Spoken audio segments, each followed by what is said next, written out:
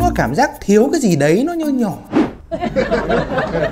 Con lậy ông ừ, thì cái này nó cũng nhỏ mà. Mình kiểu thiếu tương ớt mình không thể sống được ấy mọi người.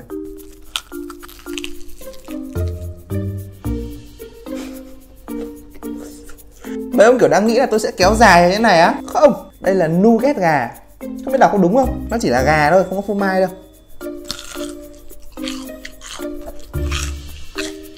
trên đời này, tất cả những cái gì làm từ gà đều ngon, giòn khỏi phải bàn luôn.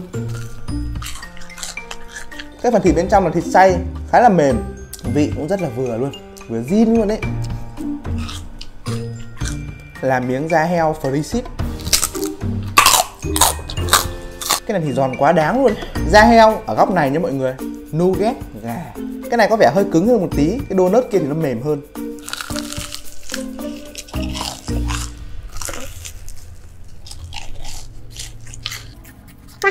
Nói chung, mọi thứ làm từ gà đều ngon.